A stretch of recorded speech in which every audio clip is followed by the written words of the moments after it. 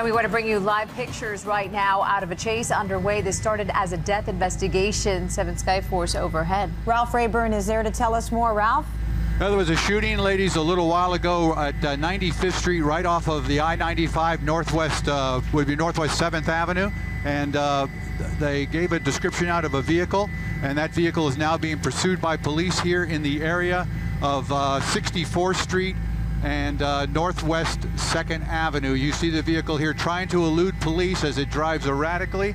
Uh, we're just trying to get our bearings. It's pulled on a uh, on a back street here, and uh, that that vehicle that's right in the center of the screen is the one that's being pursued. The, there is an aviation unit there. You see uh, another vehicle giving chase now. That's an undercover car that was involved in that investigation of the shooting that occurred there off of 95th Street and uh, I-95. That again happening maybe 20, 25 minutes ago. The car is now going to be going northbound here on uh, North Miami Avenue. That's North Miami Avenue northbound, just crossing 71st Street. And then again at a high rate of speed here.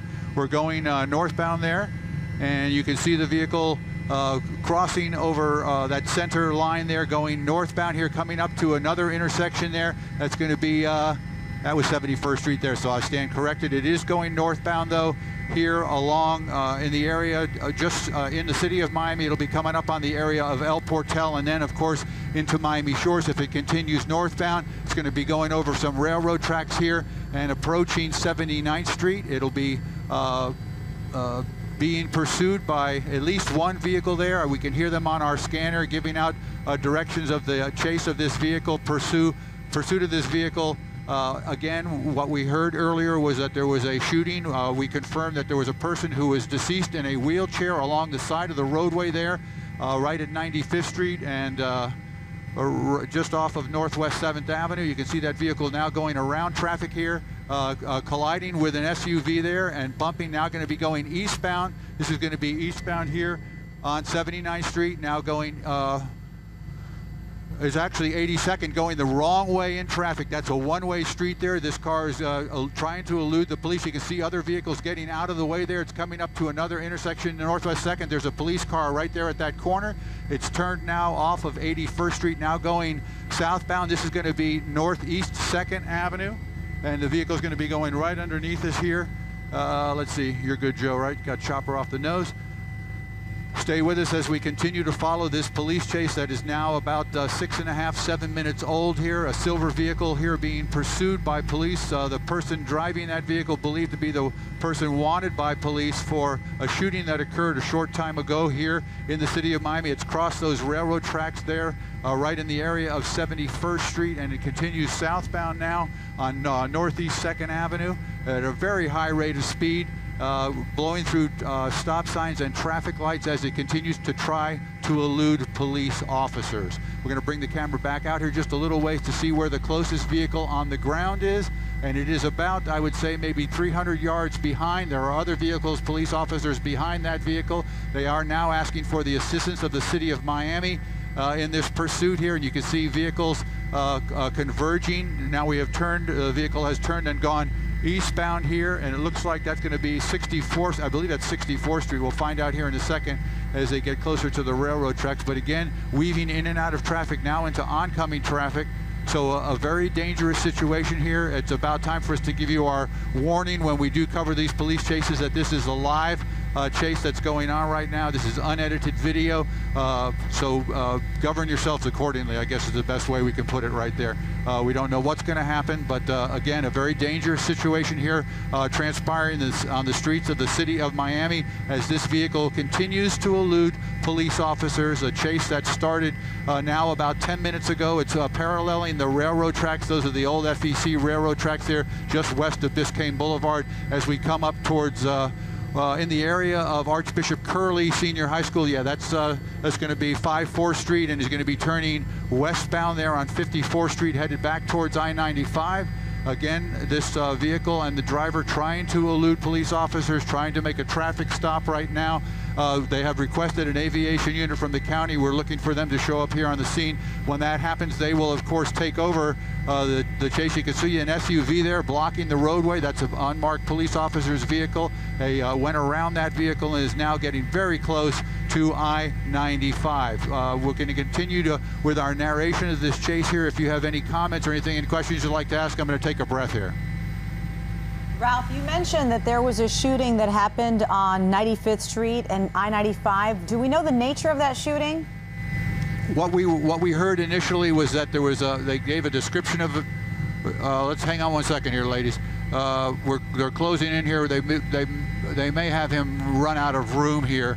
Uh, as he turns off of 54th Street and now turns onto 64th Street and is going to be heading westbound. Okay, the police. I'm being told by our pilot Joe Mancino that the police helicopter is uh, here. We're going to be pulling up and going up a couple hundred feet in elevation to get out of everybody's way here. Again, a pursuit in the city of Miami. To answer your question, uh, the nature of it was that uh, someone in in traffic exiting off of I-95 uh, uh, witnessed a shooting there uh, and gave the police a description of a vehicle that fled the area. Uh, several moments later, police responded along with fire rescue. There was a man in a wheelchair, slumped over in a wheelchair, uh, appeared to have a bullet wound to his chest. Uh, they put a tarp over him. He was pronounced dead on the scene. Moments later, undercover officers who were scouring the area identified a vehicle and started to try to pull that vehicle over. That vehicle started fled and that's the vehicle that you're looking at right now as you watch the two other undercover vehicles uh, in the rear there giving chase. And again, they have turned this now over to the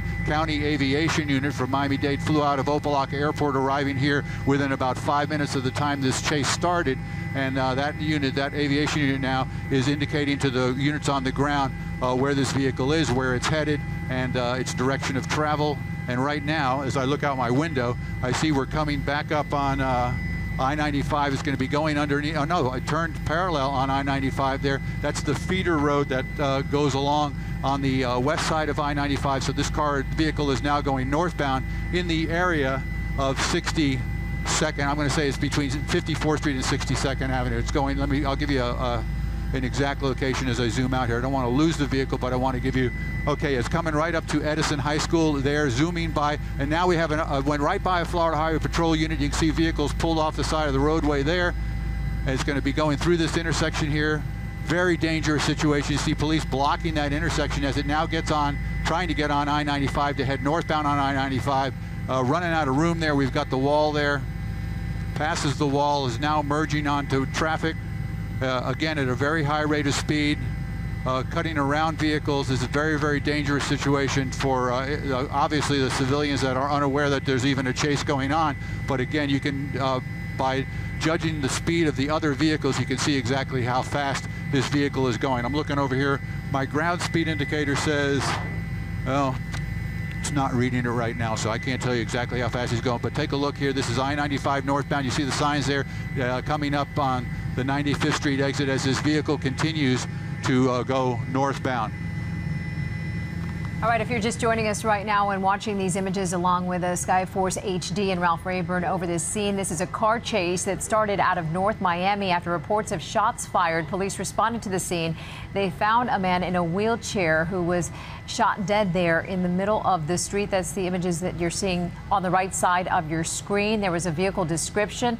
The vehicle you see on the left side of your screen was spotted by officers in that area. And then they went on a pursuit of that vehicle, and you're looking at live pictures right now as that car takes off northbound on I-95 near the Golden Glades right about now. And we can tell you that before this image just minutes ago, in trying to elude police, that vehicle hit another car that we saw there just in our images before that. We don't know of any other accidents or injuries, but we can tell you that this car is linked to at least one death, a shooting death in the city of North Miami at 95th Street and I-95. 7's Ralph Rayburn has been watching this for us. And Ralph, what can you tell us right now about where exactly this car is? Okay, I can tell you we're just past uh, 103rd Street on the I going northbound. Again, this uh, silver vehicle being pursued by undercover police officers. Those are the units that you see right there. There's a black vehicle that's trailing right behind there. Uh, uh, this all started now, I guess, maybe uh, 12 to 15 minutes ago uh, in the area of 103rd Street and um, I want to put it at Northeast 2nd Avenue is where we heard this pursuit beginning, and it was in relationship or related to a shooting that had occurred about 15 minutes prior to that at 95th Street, just west of I-95 near Northwest 7th Avenue. We've got police officers here. It's passing vehicles. There's a uh, trooper now also following behind here. There's an aviation unit from the county that's uh, down below us uh, tracking this vehicle. Uh, there was a shooting that we were talking about moments ago at 95th Street, just west of I-95, near Northwest 7th Avenue. Uh, when we pulled up on the scene, there was a tarp that was being placed over the body of a, a man, an adult male, uh, in a wheelchair. There was a blood stain on his shirt. He was apparently pronounced dead on the scene before we arrived on the scene, and about uh, five minutes of loitering on that scene, hovering over that scene, when we heard uh, information from our assignment desk that the uh, there was a they were watching a vehicle and were pursuing a vehicle. Uh, when you guys came to us live, that vehicle had gone from 103rd Street right off of Northeast 3rd Avenue and was already at Biscayne Boulevard, merging from Northeast 6th Avenue southbound onto uh, uh, Biscayne Boulevard, US 1, right in the area of the Publix, which is at uh, 90th Street. So it, uh, it happened, it's all happened very, very quickly. And again, police uh, uh, pursuing this vehicle, the vehicle refusing to stop, uh, a, a, possibly dangerous situation. Obviously, high rates of speed on this roadway. Uh, innocent civilians, people just uh, doing their daily commutes. As you can see, the vehicle veering around uh, slower moving traffic. Uh, I would uh, put the speed here in excess of 90 miles an hour. My GPS has clicked in. 96 miles an hour right now is what we're showing as the speed of this vehicle as we come up to the Golden Glades interchange here. It looks like that vehicle is going to be going northbound through the Golden Glades interchange here and we'll be making that northeasterly swing here around as it uh, continues northbound, being pursued by uh, no fewer than three or four police cars behind it, along with a, an aviation unit, a police helicopter that is monitoring the situation from above. You know, Ralph, we've been watching this with you, and it's really, police are in a tough spot right now because once this driver got on I 95, we're kind of past rush hour right now and has a lot of room to move around and is just getting around those vehicles, but still such a dangerous situation. And we've seen this driver make some dangerous moves, even go against traffic when it was on those side streets. Uh, what is the flow like? I mean, from the picture that we're seeing right now, I 95 is wide open.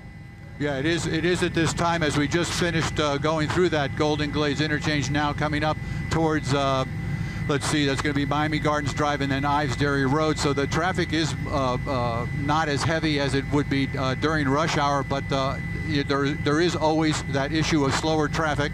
It's an I-95, I'm being told by our pilot, is closed up ahead. They're going to be running just north of Miami Gardens. They're going to be running into a big uh, jam here. So we'll we're going to it's, it's going to end here because he's not going to have any place to go, according to what I'm what I'm hearing and what I'm seeing here. So you can see he's in the breakdown, inner breakdown lane, trying to get by traffic here. Let's see what happens. Uh, okay, you can see all that slower traffic right there. Uh, there is road construction. He just banged into the wall there. He's stuck there. Uh, may have stalled the car out. We have police officers getting out of their vehicles now, approaching guns drawn. Uh, yes, there's damage to that front wheel. The driver, uh, passenger side wheel, you can see is bent outward. He's not going any farther. This is a live uh, broadcast of a takedown of, of, of, of uh, end of a police chase here. Uh, we want to caution our viewers that uh, anything can happen here, especially with the police officers with gun drawns. They've just gotten a, a civilian out of the vehicle and they're now uh, forcing or getting the uh, someone out of the vehicle. That's the person that they gave a description of in a red shirt. Uh, that subject is now in custody, police custody here on the scene. Uh, going to put our address uh, just uh, just south of the Velda Farms Tower there, that old uh, water tower that's adjacent to I-95. So it's going to be Miami Gardens Drive, Miami Gardens Drive and I-95 northbound traffic here. You see police officers have taken that subject into custody. They've placed handcuffs on him now. Uh, they're uh, doing a, a, pat and frisk there to see if he's uh, carrying any weapons or any items on his person. And uh, in a short time, they'll probably put him in the back of a police car. So Uh, you can see the officers congratulating one another there. So a narration that's uh, my narration that's going to come to an end here. Again, I-95 northbound, uh, just past Miami Gardens Drive on I-95 northbound. A police chase ends after about a 15 to 20. Well, I'm going to say 15 minute pursuit. All right, Ralph Rayburn in Skyforce HD. And if you're just joining us, you're watching the end of a police pursuit that began in North Miami about 15 minutes ago. This after reports of shots fired, at least one person killed and several vehicles there smashed up as a result. No word on any injuries. As you look at these live pictures, that suspect now taken into custody. This ending at Miami Gardens Drive on northbound 95 and